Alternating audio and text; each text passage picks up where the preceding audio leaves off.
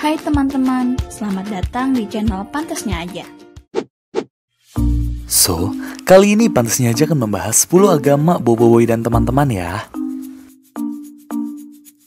Yaudah teman-teman, sebelum kita mulai video ini jangan lupa untuk klik tombol subscribe di bawah ya untuk membangun channel kecil ini agar besar seperti channel-channel tetangga.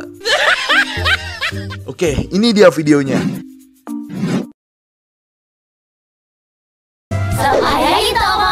Selamat Hari Raya. Terima kasih ya bagi Atok hadiah-hadiah ni. Assalamualaikum, Tok. Waalaikumsalam. Dah dah, jom kita balik.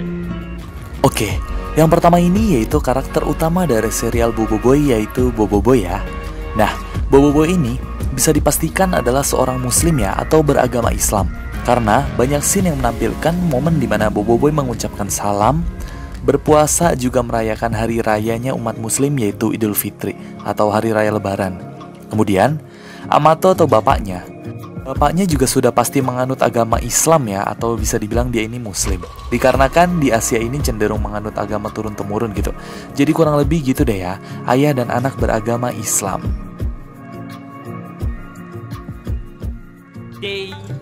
Dah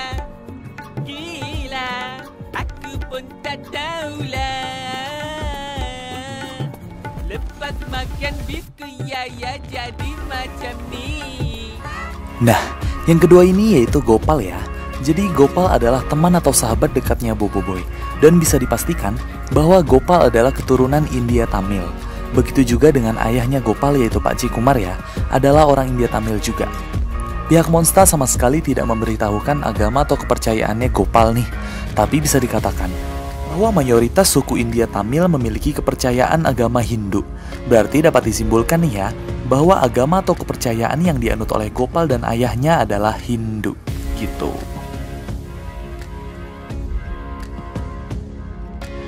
Nah, kalau yang ketiga ini yaitu Yaya ya. Jadi Yaya ini merupakan teman pertama yang dijumpai Boboiboy di awal musim.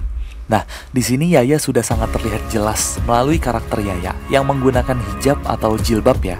Nah, yang menandakan dia ini memiliki kepercayaan atau agama Islam gitu. Hal ini juga bisa dilihat dari ibunya Yaya ya, yaitu Makci Wawa yang menggunakan hijab. Jadi, bisa ditarik kesimpulan, agama atau kepercayaan yang dianut oleh Yaya dan ibunya adalah Islam gitu. 放弃。就跟我女儿一样。谢谢妈妈。哎，谁来了？ Hai Selamat tahun baru Cina Wah, suaminya Mas kau tuh ya? Nah, kalau yang keempat ini Ying ya.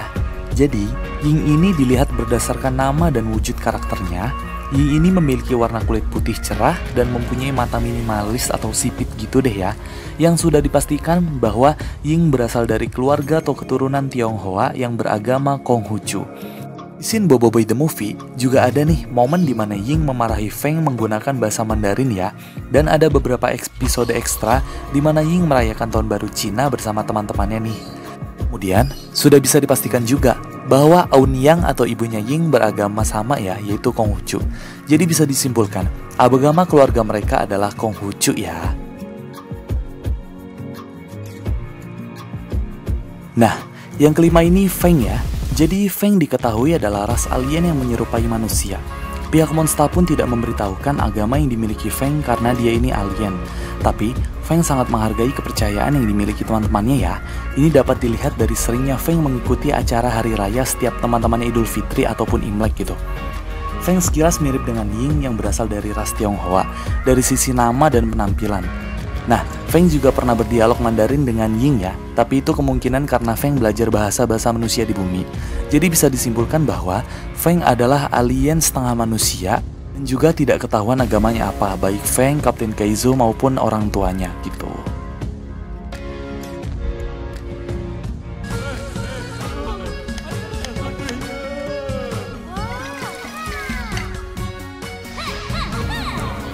Assalamualaikum. Kami dah sampai. Waalaikumsalam. Ha, silakan masuk. Oke, kemudian Papa Zola ya. Kalau Papa Zola ini cukup aneh ya. Jadi seperti yang kita tahu, bahwa Papa Zola dan Mama Zila datang dari dunia games. Kemudian mereka mempunyai anak yaitu Pipi Zola. Nah, mereka ini kalau dunia game seharusnya kan nggak punya warga negara dan juga nggak beragama ya pastinya. Namun pada channel spesial Papa Pipi, mereka bertiga ini didapati sedang merayakan Hari Raya Idul Fitri atau Lebaran tuh ya. Ada berbagai makanan juga di sana gitu. Dan juga didapati Boboy, Toaba, Yaya, dan Tototoy sedang maaf-maafan ke sana juga nih.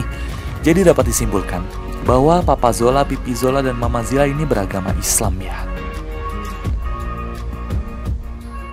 Ratu mesti diselamatkan. Pergi ke lokasi ini dengan segera. Iya apa ni? Tak bagi salam, tak bagi apa, terus bagi misi. Ah, Assalamualaikum. Projek Nah, kalau yang ketujuh ini, yaitu Kokochi ya. Nah, Chichiko atau Kokochi ini seperti yang kita tahu, dia ini seorang alien yang berasal dari planet Atata 3 ya, sama kayak Adudu dan Ijojo. Jadi sama seperti halnya seorang Feng. Kokochi ini belum diketahui identitas agamanya apa gitu ya. Soalnya alien gitu loh. Hahaha. Nah, ada nih di video Boboiboy yang hari raya lebaran. Jadi ceritanya Kokochi ini menyuruh Boboiboy dan kawan-kawan untuk menyelamatkan suatu porspera, kemudian langsung cabut aja gitu setelah menyuruh. Kemudian Gopal ngomong, salam enggak apa enggak udah main keluar aja gitu.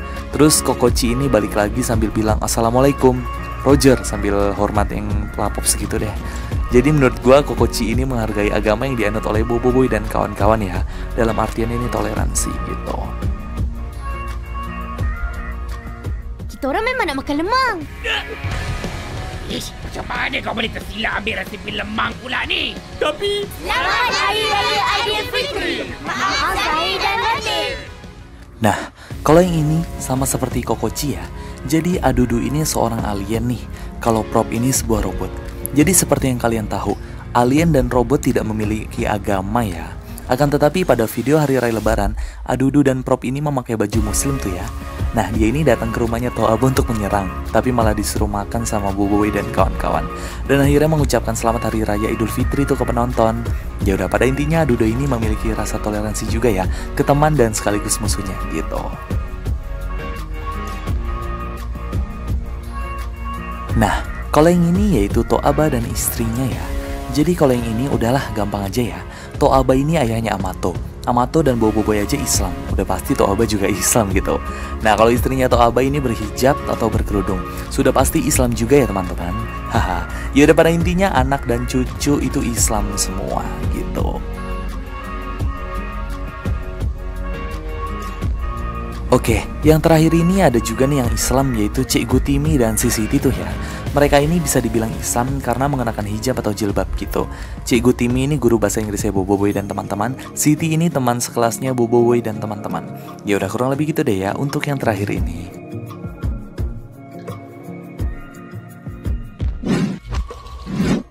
Nah, itu dia. Kira-kira agama Boboiboy dan teman-teman ya. Kurang lebih kayak gitu sih, soalnya pihak Monster juga belum mengonfirmasi hampir semuanya gitu. Ini gue nebak-nebak aja ya. Buat yang punya pendapat, bisa tulis komen di bawah dan dibantu share biar ramai yang nonton.